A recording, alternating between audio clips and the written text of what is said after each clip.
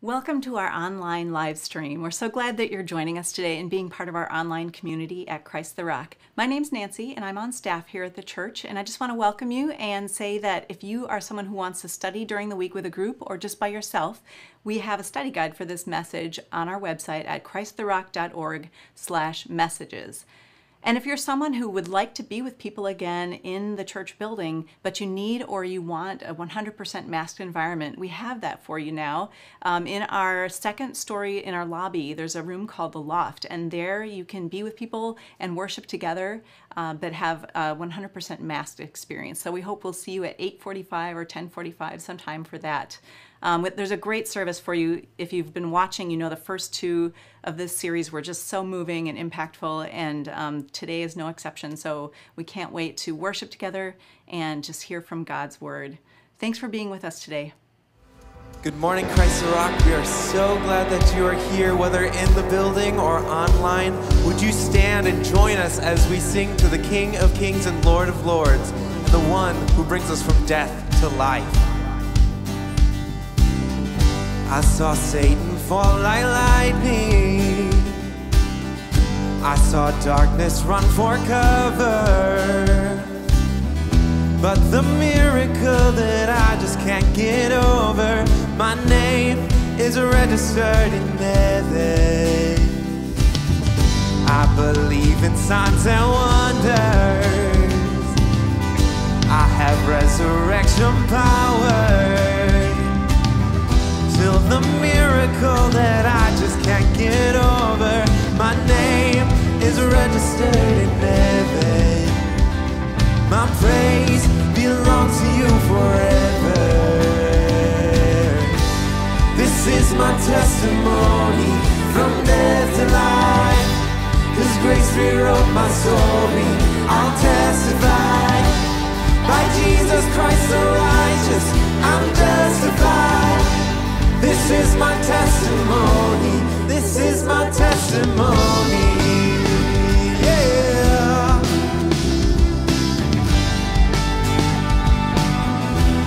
together.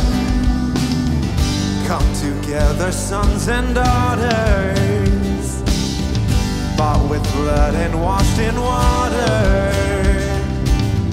Sing the praises of the Spirit, Son, and Father, our God will finish what he started. Our God will finish what he started. This is my testimony from death to life. Cause grace rewrote my story. I'll testify. By Jesus Christ the righteous, I'm justified. This is my testimony. This is my testimony.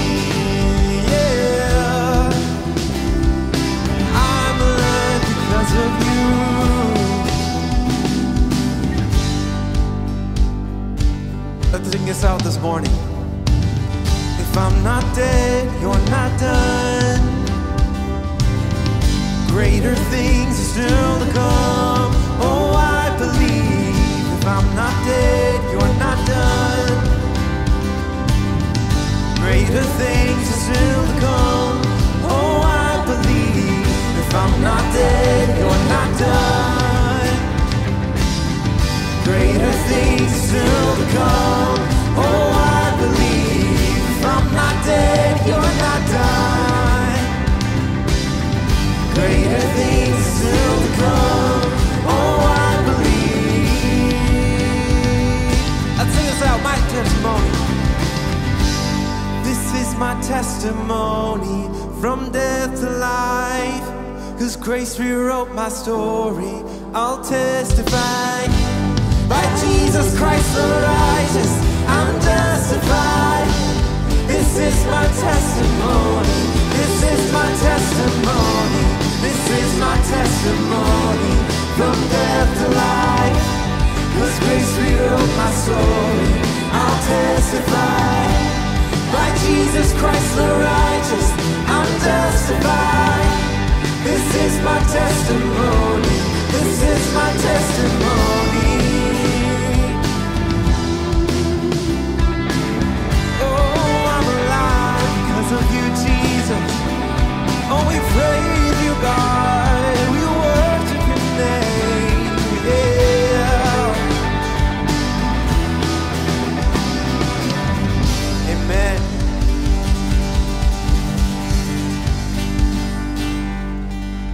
Amen, amen. Let's continue on in our praise this morning.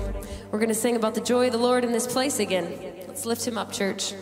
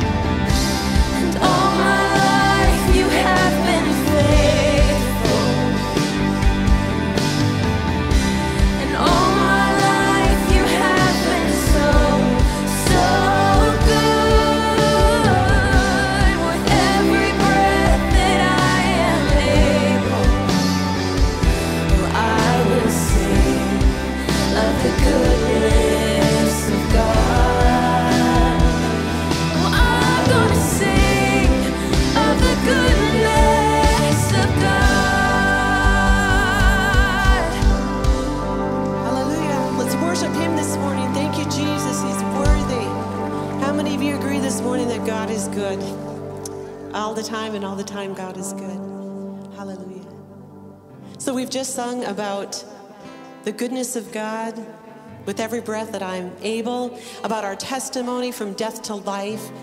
And there's joy in the house of the Lord, and we shout out his praise. You know, you think of it in Genesis 2 7, it talks about how God picked up that clump of clay and that dust, took it in his hand, and he breathed into it. And his breath caused life, caused every one of us to be alive today. That is just, how many of you agree that's just phenomenal? How, yeah, let's give God a hand. It's just amazing what, how we, the intricate parts of the body and just everything that is, is done because of Him. And in this next song that we're going to sing, the chorus says, um, It's your breath in our lungs, so we pour out our praise. So it's His breath. Every person in this room and that is watching online, God breathed life into you. And today, no matter what story you have, we all have stories. God is there, and you are worthy. You are His, you belong to Him. He's no respecter of person. He loves each and every person the same. Look at your neighbor and just say, God loves you. God loves you. and I think of this series, Come Together. And tonight, we're going to be cheering on the Packers. Some of us will be, if we're Packer fans. So, in this next song, can we cheer for God? Can we sing out His praise? Let's give Him all the glory today. Amen. Hallelujah.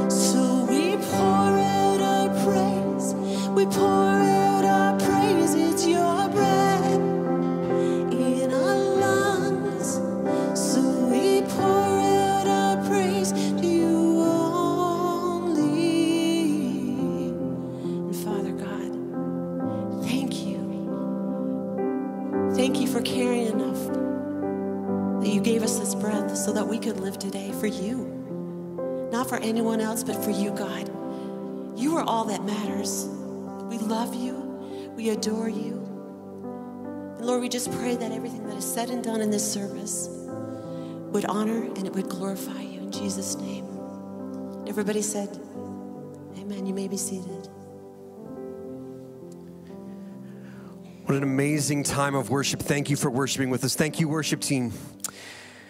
Yes, amen.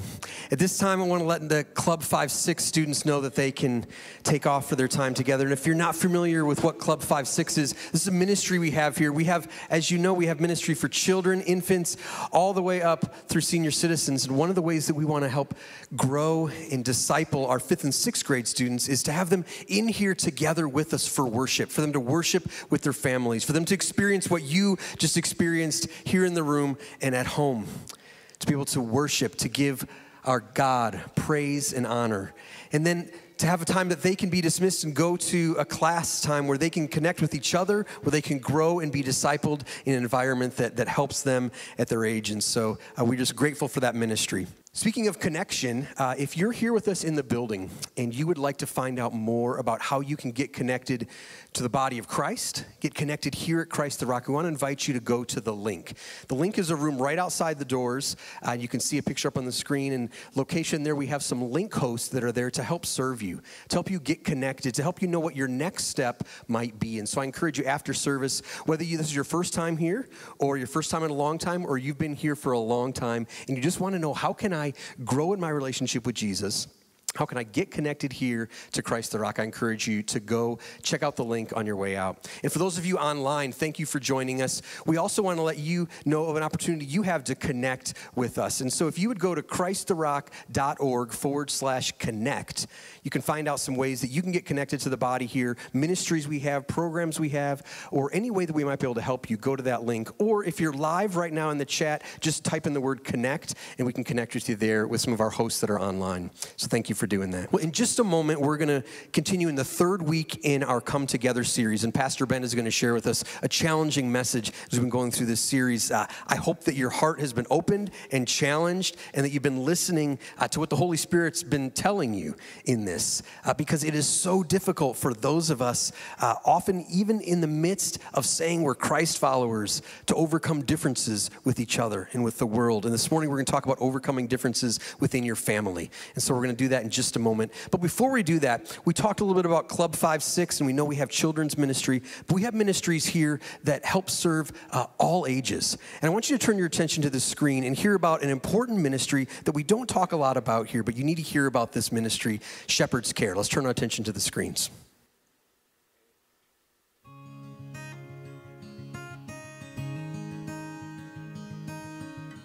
Uh, Shepherd's Care Community Outreach exists to bring the love and hope of Jesus to those that reside in care communities and senior retirement communities throughout the Fox Valley.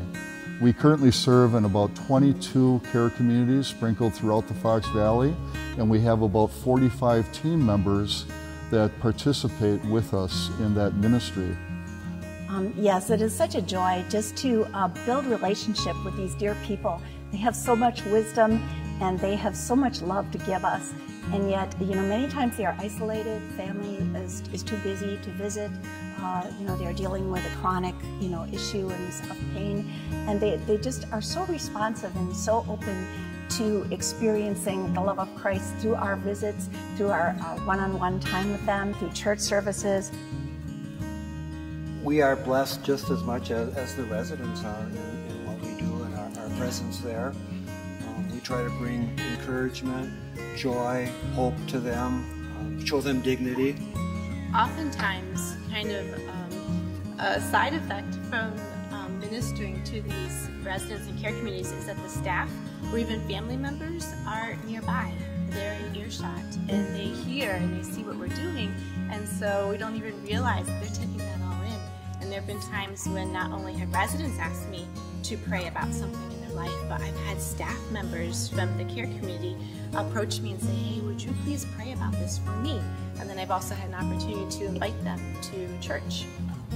It's amazing because this is a mission field, you know, a mission field um, that is right in our backyard that we don't need to get on a plane to go to. We don't need to fundraise to do it. We can just drive across town and there are hearts that are open and we're just seeing such eagerness and such joy and such reception. Even residents with uh, profound or advanced dementia will know all of the words to a hymn and it'll come alive because that dementia has not affected their spirit and it's in their heart and you're reawakening their joy in the Lord that they might have forgotten. Just going into the care communities and uh, sometimes feeling a bit like um, I'm not sure what I'm going to say or how it's going to go, but it requires me to rely on God and to pray a lot and to look for Him to show up in opportunities. It isn't just a, a Sunday morning service.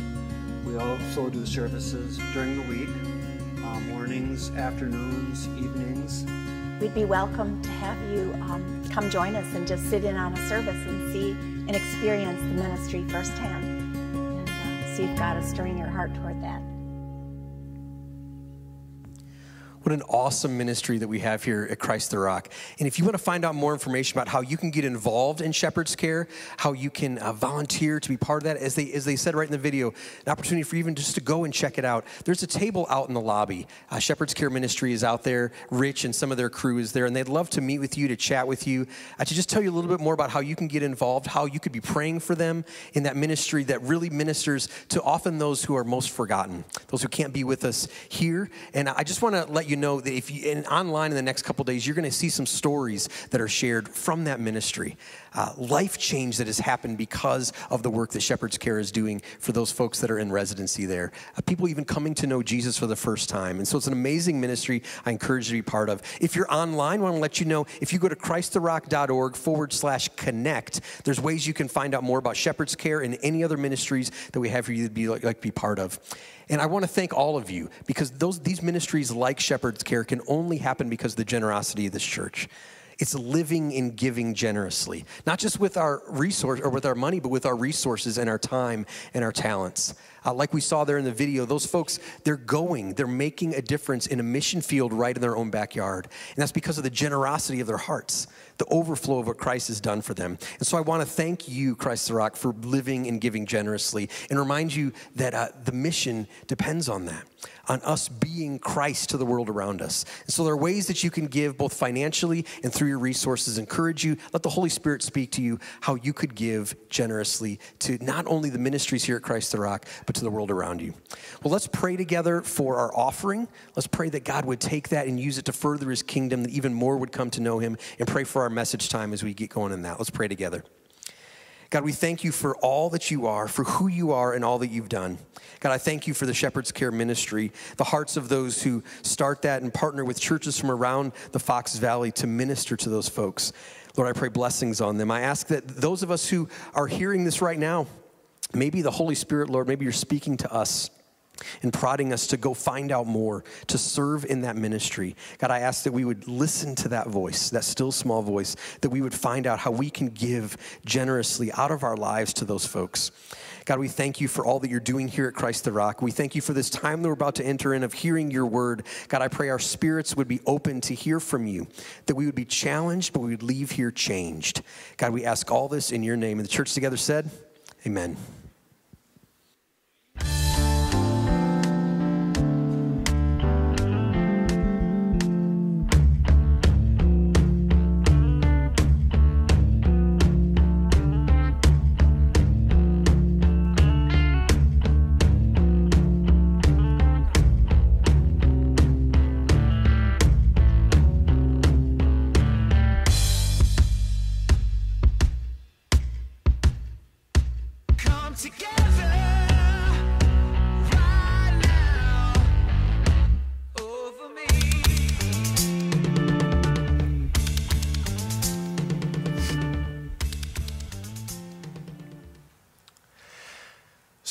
Last Sunday, I had a conversation with someone after services that has stuck with me all week because they said, Look, I'm trying to figure out this whole come together thing and reconcile with people, but I'm finding that as I reach out to family members and try to reconcile with them, that there's some who just won't even talk to me.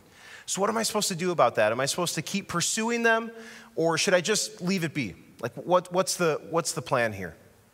That's a great question because we are in this Come Together series, and this series is all about how we can overcome differences so we can discover unity with one another.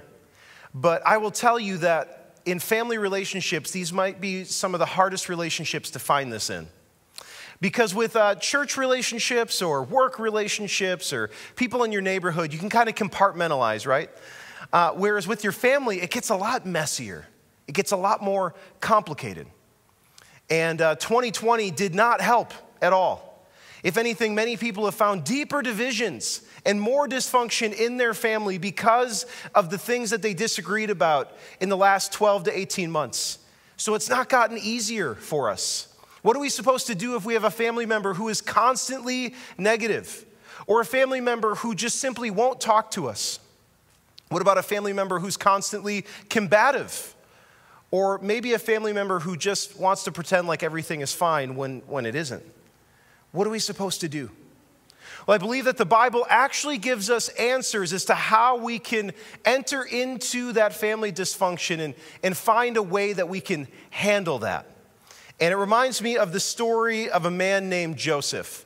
Now, maybe you've seen uh, this, the show Joseph in the Technicolor Dreamcoat. That might give you an idea of who he is. Or maybe you even watched The Ballad of Little Joe, uh, Veggie Tales classic. And for some of you, that's your jam. And uh, so you might know the story of Joseph. But in case you don't know the story of Joseph, I want to I wanna bring you through some of the highlights of his story and help us to understand, honestly, one of the most dysfunctional families you are ever going to hear about. And so in Genesis 37, it tells us this. Now, Israel loved Joseph more than any of his other sons. Israel is also known as Jacob in the Bible because he had been born to him in his old age. And he made this ornate robe for him. When his brothers saw that their father loved him more than any of them, they hated him, hated Joseph, and could not speak a kind word to him. And so they, they hated Joseph. You can already see the dysfunction at work here. You know, his father's favoring him, and the brothers are hating him for it. And Joseph, instead of trying to make this better with his brothers, he makes it worse because he starts to have these dreams. And in these dreams, essentially what happens is his brothers and even his parents are bowing down before him. Like they bow down to him. So, you know what he decides to do? He decides to tell them about it. He's like, hey, everybody, guess what? I'm having these dreams lately where you all bow down to me. And they're like, Are you kidding me? Like, do you think that we are somehow, like, you're gonna rule over us? Like, who do you think you are? And so they get, they, they hate him even more. They get more frustrated with him. And truth, truth be told, maybe you have somebody like that in your own family. Maybe you have somebody who, like, they're more favored for whatever reason, and it just drives you crazy. Like, it doesn't even make sense. Or maybe, maybe you have someone in your family who's a little bit like Joseph, and uh, they, they can't keep thoughts in their head, they just have to say them out loud and they just say whatever's in their mind, and you're like, look, just because it's in here doesn't mean you have to share it in the atmosphere with all of us out here. Sometimes it's okay to just keep that in. And, uh, or maybe, maybe you have a family member who just causes a lot of division with the things that they say and the things that they do. Maybe there's a pride and an arrogance to the way that they handle things. And maybe sometimes you're, you're that person. But in this circumstance, Joseph was that person to his brothers and they hated him for it. And so they, they decided one day that they're actually going to kill him. And so they, they, they're in the desert with them and they find this cistern. This is kind of like a giant well type thing. And they, they throw him into it, but there's no water in it. So it's just this empty cistern. They chuck him in. And the idea is just leave him there and let him die. But then they see a band of slave traders passing by. And they, wait, they say, wait, what does it profit us to just let him die out here like this when we can sell him into slavery and uh, we'll still never see him again, but we'll all make a little money. And so they go and they get Joseph out of the cistern. And you got to imagine at this point, he's going, okay, good. You guys came to your senses. You're not going to kill me. And then they're like, no, we're not. But guess what? And they sell him into slavery. And now he's off to Egypt. So I'll just say that if your family has never tried to throw you into a well and then tried to sell you into slavery, like there's still room for more dysfunction in your family to get to the level of Joseph's family. And, uh, but truth be told, truth be told, that we all have dysfunction in our families. If you are a human and you're in a family, you have dysfunction in that family. It is part of the human condition.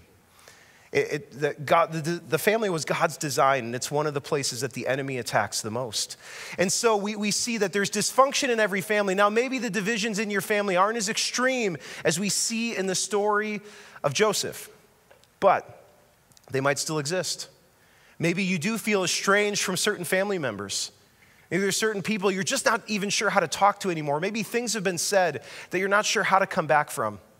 Or maybe there's family members that are just set on ignoring the reality. They won't deal with the problem and they just want to pretend like everything's just fine. Or maybe you do have family members that all you do is fight when you're around them. I mean, and maybe anything and everything in between that we have these family dysfunctions and we're not always sure what to do about them. And so, what do we do? What do we do when a family member is the one who hurts us? Because sometimes your family can hurt you worse than anybody. Because these are the people that we'll give our trust to, and then when they hurt us, it hurts even more. I've told you this story, I've told you my story from this pulpit before, but there's multiple times where I've been hurt by family members. But when I was a junior in high school and we were evicted from our house, both of my parents told me that they weren't going to be able to take care of me anymore. And they just left me on my own. I just remember the, the disillusionment, the frustration, the pain that came with a family member hurting me in that way. And it's deep when that happens. It's, you, you don't just bounce back from that. So, what do, you, what do you do when family members hurt you in a deep way like that. When you give them that trust and they, they return it with, with pain. Well, the, the natural reaction is that we want to do maybe one of two things. We either want to get revenge on them and say, fine, then I'm going to try to find a way to get, get you back. Or what we might do is we might build up walls around ourselves and say, look, I'm never going to let this happen to me again. But here's the thing that starts to happen the habits that we form in our family relationships often find their way into the other relationships in our life. And so, if you have a hard time trusting your family, well, it's, it's likely that you're going to have a hard time trusting anybody. And so, before you know it, you're actually building up walls between yourself and anyone because you don't want anyone to hurt you like that. This is where psychologists talk about issues that stem from our family of origin, and we, we have to pay attention to that dysfunction that might rise in our own life because of the things that have been done to us in our family relationships. And So, this is, this is huge. We have to look at this and say, how do we handle this? And so, I want to look at the life of Joseph and see a few things that we can learn by the way that he handled his dysfunction and his own family's dysfunction. But first, I, have to give you a little bit of a synopsis of what happened to Joseph once he arrived in Egypt. So, once he gets to Egypt, uh, he begins to work for a man named Potiphar.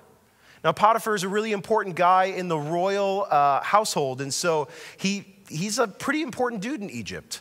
And so Joseph begins to work for him, and then the Bible tells us that Joseph prospered in Potiphar's house, that he was promoted because the Lord was with him. And so Potiphar puts him in charge of his entire household. Then what happens is uh, Potiphar's wife gets the feels for Joseph. Like, apparently he was a pretty good looking dude, and she noticed. So she makes a pass at him. And he, he responds by running out of the room, literally. He's like, nope, see ya. And uh, I'm sure that she was hurt. I'm sure she felt embarrassed. And so what she does is she accuses him of trying to assault her. And it's his word against hers, and he goes to prison. So Joseph goes to prison. And then while he's in prison, he becomes the uh, kind of resident dream interpreter. And uh, when people have a dream, they bring it to Joseph. They say, What does this mean? And he'll tell them because God gave him this ability to do that. Well, there was uh, one guy that he interpreted a dream for, and that guy went on to work for Pharaoh himself. And then a couple years later, Pharaoh started having these really troubling dreams. And he said, Does anybody know someone who can interpret dreams? And this guy, this cupbearer, he had told Joseph that he'd remember him. And it took him till two years later that he goes, Oh, wait, Pharaoh, I, I got a guy. Do you ever have somebody like that in your life who anything you say, they're like, hey, I got a guy. Got a guy for that.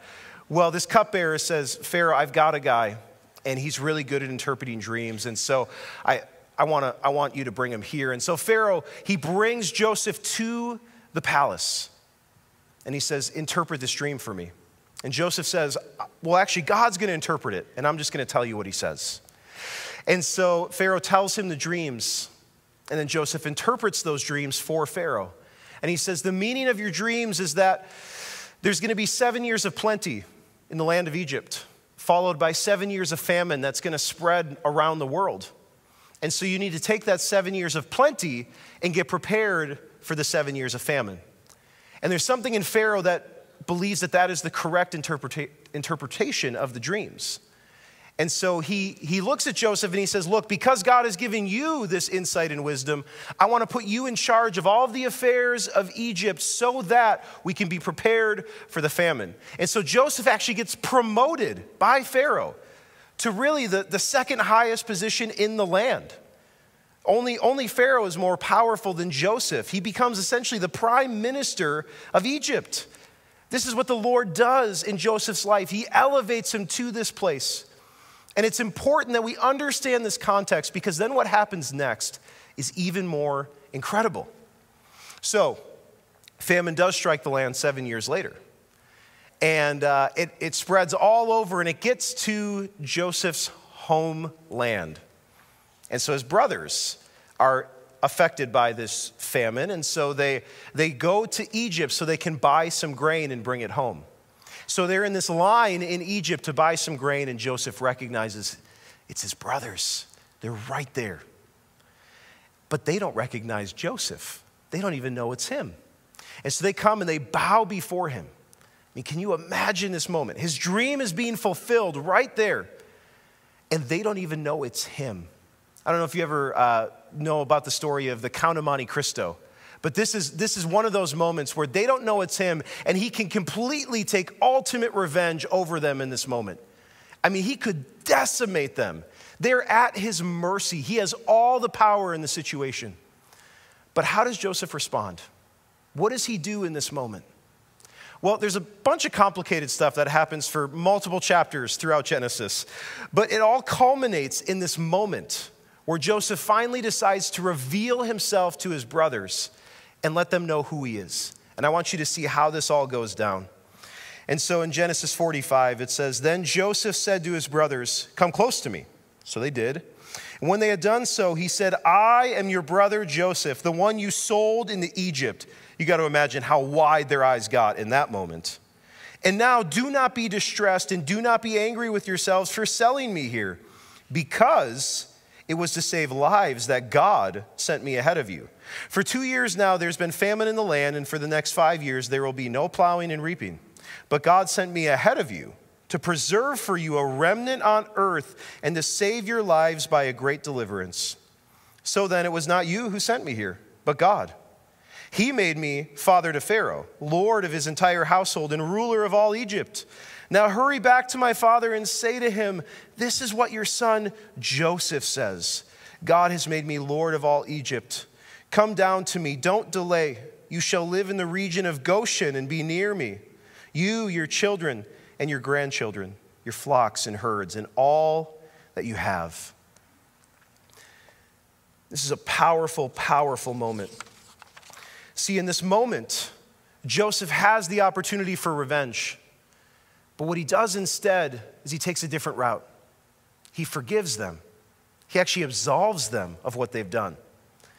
And he says, God's actually the one who is at work here.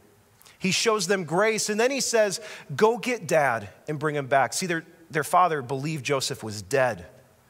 And so they said, Go tell him that I said, Come down here and live. Live in the lap of luxury. Live in the safest place in the world at this moment that God has put me ruler over. And come and, and be here and live in peace. So he extends the olive branch. He says, Come and be here. What an incredible way for him to respond. Now, I think there's many things that we can learn from the story of Joseph, but there's one major point that I want all of us to grab a hold of when it comes to how we can deal with dysfunctional relationships in our own family. and it's this Don't fall to the level of their dysfunction, rise to the level of your calling. I'm going to say that one more time. Don't fall to the level of their dysfunction, rise to the level of your calling. See, there are certain family members that when we get around them, the dysfunction just comes right up to the surface, doesn't it? Certain family members, you get around them, and it's just like all the unhealth comes back, and you, you can sometimes almost act like a different person around them. What we have to do is we have to fight the urge of getting into the boxing ring with those family members. And instead, we have to use those moments to remember our calling. What's our calling? Jesus said, Come, follow me. We, we follow Christ. In Ephesians, it says that we ought to live lives worthy of the calling that we have received. This calling of following Jesus and being like him, being transformed by him, being committed to the mission of Jesus. That is our calling as Christ followers. And so we, we, are to, we are to live out that calling even in the most dysfunctional relationships that we have, even with those in our family. So instead of falling to the level of that dysfunction, which we probably grew up with. It's so easy to fall into it. We have to rise to the level of our calling. But how do we do that? I, want to share three practical ways that I think we can live out that calling, especially in regards to dysfunctional family relationships, the divisions that can exist in our own families. Number one is make peace your goal. That's number one. Make peace your goal. Hebrews 12 says, Make every effort to live in peace with everyone and to be holy.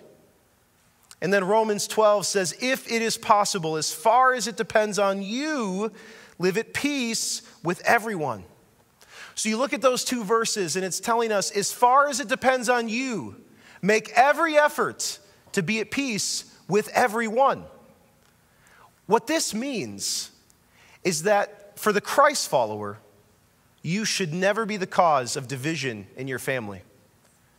Christ himself will even sometimes bring division to families, but as the Christ follower, you are called to peace.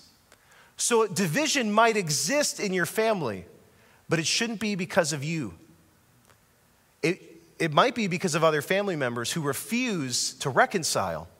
But the Christ follower is always going to work towards peace.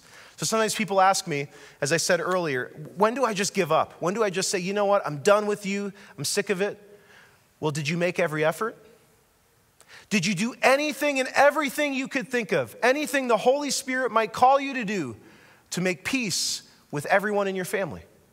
And if you have, then you can live at peace because you've done your part. You've done your part. That's all you're called to do, to do your part, which is to make peace with everyone. Now, some people, they hear that and they say, I feel like what you're telling me then is to be a doormat. Just let everybody walk all over me. That's actually the opposite of what it is. It takes incredible strength and resilience and courage to be able to do this, especially with your family. It takes incredible strength. Where do we get that kind of strength? Well, let's look at point number two. Trust that God has a purpose for the pain. We have to trust that God has a purpose for the pain. See, Joseph, he had to have developed a very deep and personal relationship with God. And we can tell this by a couple of things. One is this ability that he had to interpret dreams, because he himself says it comes from God and God alone. And so the fact that he could interpret these dreams and that they were correct was a prophetic gift from God himself. But even more important than that, it's the way we see Joseph respond to his brothers. These people who had hurt him so deeply, and yet he responds with so much character that he doesn't fall to the level of their dysfunction, but he rises to the level of their calling. But, but how? How does he do it? Well, I, I want to bring you to this place where he makes an incredible declaration. Because, see, they, they're afraid of him. They're like, what is going to happen to us? And so his brothers then came and threw themselves down before him. We are your slaves, they said. But Joseph said to them, Don't be afraid. Am I in the place of God? You intended to harm me, but God intended it for good. You intended to harm me, but God intended it for good to accomplish what is now being done, the saving of many lives. So then, don't be afraid. I'll provide for you and your children. And he reassured them and spoke kindly to them. And so, yet again, he reassures them. Yet again, he speaks kindly to them. And he lets them know it's okay. Why? Because Joseph's focus was not on what his family had done to him, his focus was on the Lord. And he said, What you intended for my harm, God has used for good, for the saving of many lives. And that includes the, the saving of all the people in the region that came to Egypt so that they could buy grain. But also through this is how God preserved the line of Abraham, Isaac, and Jacob so that someday a Messiah could be born into this world. This purpose that God had was way bigger than Joseph or his brothers or their dad could even wrap their mind around. But Joseph, at least in the limited wisdom that he did have, he knew that God was using this for his purposes. So we have to trust that God has a pain for our purpose, that even when our family hurts us and intends to harm us, that God has a purpose for that pain. I look back at my own life and I see this to be so true. There are moments where there's family who intended to hurt me. Sometimes it was unintentional, but sometimes it was. It was willful, it was intentional what they did. They didn't, they didn't live out the responsibility that they had as family members. But I look back at that and I can see this truth in my life that God used what they intended for harm for good, for saving of many lives because my story has been able to be used that way, and yours can too. But not only was it good for other people, it was also good for Joseph, what God did. Because it was probably one of the best things for him to be away from his family in the way that he was. I mean, he was elevated to such an incredible position, was used so powerfully by God. And so we have to trust that not only will it be good for those that we allow God to work through us to affect them, it's also going to be good for us. We have to trust Him with that. We have to trust Him with that pain as an act of worship and obedience. So we can either choose the pathway of trust or we can choose the pathway of revenge, which is the opposite of trusting God. It's taking it into our own hands. So, what do we do when we get the opportunity to try to exact revenge upon our own family? Well, the Bible gives us really clear instruction. In Romans 12, it says, Do not take revenge, my dear friends, but leave room for God's wrath. For it is written, It is mine to avenge. I will repay, says the Lord. So we have to trust God with that situation. If we try to take it into our own hands, we're not leaving room for God to do His job. He's not calling you to do His job. He's not calling you to be the one who convicts your family. He's not calling you to be the one who changes these family members. He's just calling you to do your part. God will always do his part, and it's up to your family member whether they, they will do their part. So, all you're called to do is your part in this. And it says, leave room for God's wrath. Sometimes there's, there's ways that we can allow God to build a healthy distance between us and other family members. There's some people that they actually take so much responsibility of trying to repair or change family members that they actually don't recognize sometimes those boundaries and that space can be a healthy thing. But God Himself can put those things in place as He did in the life of Joseph. So we leave room for His wrath. We don't try to avenge, we let God do His part. God will do what He needs to do in the situation. We just have to trust Him with that. I have to do this on a regular basis. Because there's times where I'll even remember things that happened a long time ago that I'd kind of forgotten about. And I get all angry all over again. And then sometimes I literally have to say, God, I give this anger over to you. I give this situation over to you. And not only that, I give this family member over to you. I'll, I'll, name them out loud and I say, I give them to you, Lord. I pray that you would have your way in their life and show me what I can do in the situation to glorify you. I'll literally pray those prayers because if I don't, it will fester and it will start to take a root that I don't want to see happen in my life. And so we have to trust God with the situations. For it says in 1 Peter 3 9, don't repay evil for good. Don't retaliate with insults when people insult you. Instead, pay them back with a blessing. That is what God has called you to do, and He will grant you His blessing. That's what He called you to do, and He will grant you His blessing. This is part of our calling. to be like Christ and answer curses with blessing, trusting that God will then bless us as we do it with who He is in our lives. Point number three is own your part in the problem. Now, this is, this is the one that maybe we don't always like as much. Because I'll tell you what, those first two, the first two that I just shared with you, they're hard. They're really hard to trust God with the pain, that He has a purpose for it, and then to make peace, to be the one who works towards peace. These are hard things to do, but you, you kind of come out looking like the virtuous one in those situations. You, it's like, wow, okay, you're the one working towards the peace, you're the one trusting God. But when we have to own our part in the problem, that's a little bit more difficult. This is where we have to mix our conviction with humility.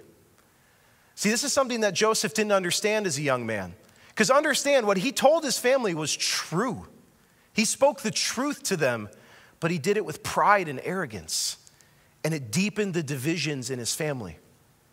And I'm sure that all that time in prison, the Lord was showing Joseph his pride and his arrogance. And clearly, he humbled himself before the Lord. You can see that by the way that he responded to his brothers with compassion and grace and humility. And so we, we have to own our part in the problem. How have we helped the division in our family get deeper? How have we contributed to the dysfunction in our family?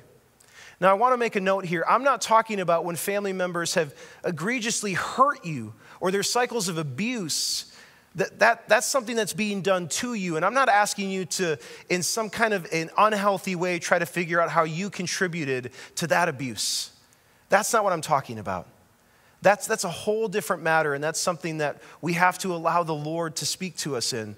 But what I'm talking about is how have you, in general, contributed to the dysfunction in your family?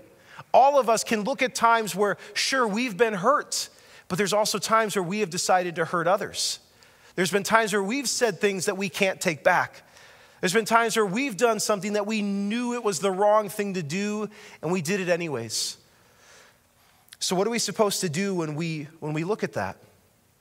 Because it's moments like this that we have to recognize that we cannot change our family, but we can allow God to change us.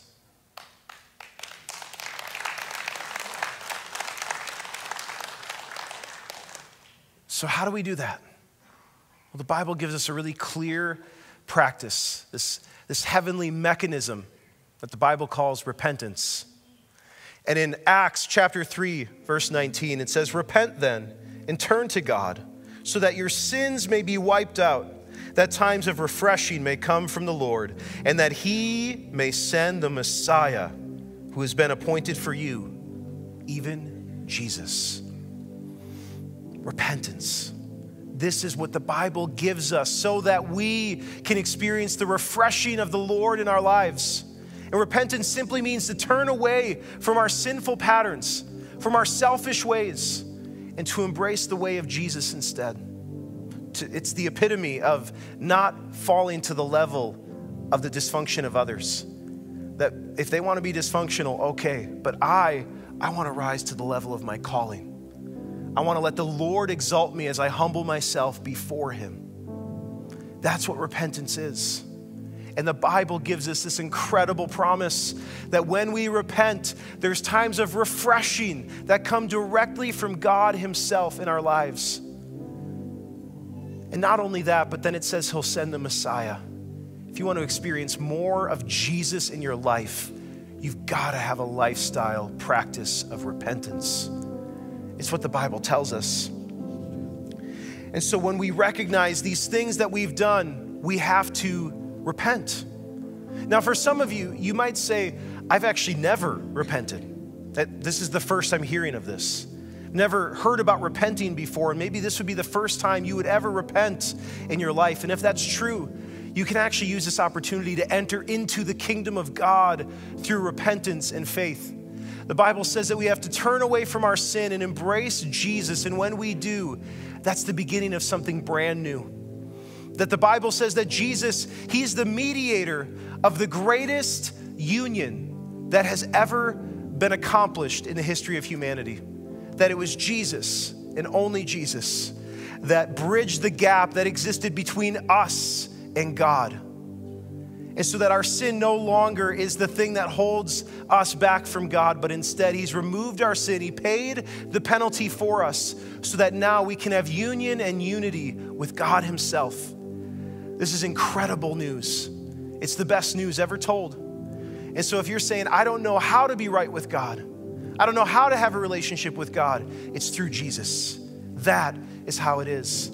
Jesus said, I am the way, the truth, and the life. And so we give up this life that we think we have to embrace the eternal life that Jesus has for us.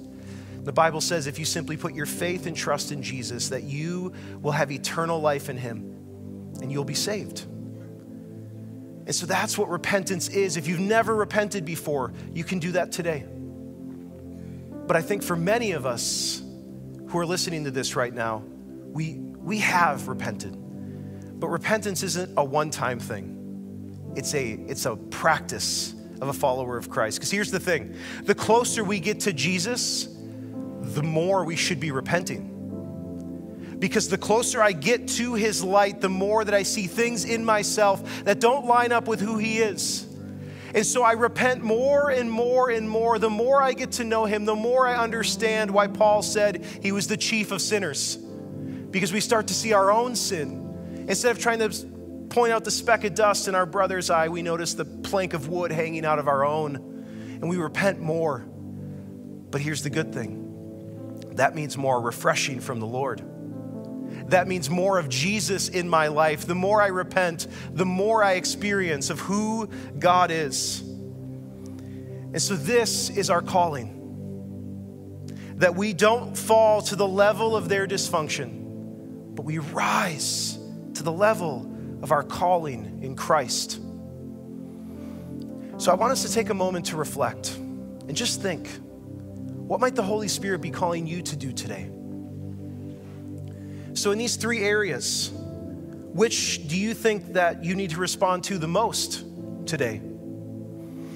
Is it to make peace your goal? Are you the one causing the division in your family right now? And if so, what would it look like for you to pursue peace instead? What would change in the situation? Maybe the Holy Spirit's saying, You're the one who's causing this division. It's time for you to make peace your goal. Maybe it's number two, that you trust that God has a purpose for the pain. Ah, oh, this one's so hard because sometimes that pain feels more real than anything else. But some of us, we, we allow ourselves to get bitter instead of allowing God to make us better. So, what if you were to trust Him with the pain and believe that He has a purpose? For some of you, I believe that's the place you need to lean into. And I don't think that God is looking at you so that you can feel shame. I think He sees the hurt, He sees how difficult it is. He knows what's been done to you, but He's saying, I want to free you from that. I want you to live a different kind of life. So, would you trust me with the pain and believe that I've got a purpose for every single thing in your life? and you'll never be able to wrap your mind around it, but someday you'll look back and see all that I've done, and it'll give you hope for the future as well. Or maybe for some of you, it's to own your part in the problem. That you're starting to say, Yeah, I, I see where I'm contributing to the dysfunction in my own family. I know that there's times that I have been one who's moving that forward, and I need to own my part. I can't just always be the victim here. Sometimes I have to recognize where I have been the one who needs to apologize, who needs to be the one who owns up to what they've done. And so maybe that's where you're at today. Truth be told, all three of these things are things that we need to live out in our lives if we are going to live lives worthy of the calling we've received in Christ. But, but maybe the Holy Spirit is really highlighting one of these things to you. And He's saying, for right now in this season, you really need to lean into that and just trust me with it. Let me lead you in that. And I would encourage you with this. See, I'm, I'm just a person. But the Holy Spirit, if He is speaking to you to do something, even if it's something really, really specific, do it. Obey Him. There is so much incredible life that happens when we obey what the Holy Spirit is prompting us to do. And so, so don't just take it from me. Spend time and listen to the Holy Spirit. And if He tells you to do something, I encourage you to do it immediately. because we're not promised tomorrow. And so sometimes we have to listen to what he's saying. We have to follow that conviction and realize it's good and that we listen to him. And if we're like, I don't know what to say, I'm not sure how it's going to work, well, he'll give you the words to say. If you're a Christ follower, that's true. And he will give you guidance and he'll also comfort you when things maybe don't go the way that you hope they would. And so listen to the Holy Spirit today. And what I want to do in that, in that spirit of letting the Holy Spirit work in our lives is I want us to pray a unifying prayer together as a church family. Now, this is a pre written prayer, and sometimes those can feel ritualistic or rote, but there's sometimes just so much power in us together as God's people declaring something out loud in unity and believing upon the power of Jesus and the power of Holy Spirit working in our lives that that can come true because the Bible tells us it will. And so I want to pray this together. And so you can look at the screen and let's pray this together. Loving Father, you have reconciled us in Christ Jesus and have given us the ministry of reconciliation. We pray for all those from whom we are estranged. Bring healing to strained or broken relationships. Forgive us for the times we have wronged others, whether by ignorance, neglect, or intention. Grant us the courage and the grace to seek their forgiveness and opportunity to make amends. Where others have wronged us, grant us a gracious spirit that we might forgive even as we have been forgiven in Jesus Christ. Amen. Amen. Those are simple words, uh, but they're so hard to do in that prayer. And um, so that's uh, my personal prayer for me this week and for all of you too is that we would be able to really listen for the Holy Spirit and think about those um, three points of Pastor Ben today to trust uh, God, that there's purpose in the pain, to be a peacemaker in our own family relationships, and um, just to do our own part in looking inside and knowing where we're wrong. So um, I know probably all of us will have one of those that's more challenging than the others. And um, let's just lift our, ourselves and, and each other up in prayer this week as we really examine our hearts for that and ask God to change us. Thank you so much for being with us today, and we can't wait to have you back next week for our guest speaker, Bob Lenz, who's going to finish out this series for us next Sunday. So I look forward to seeing you then. Thank you so much for being with us today.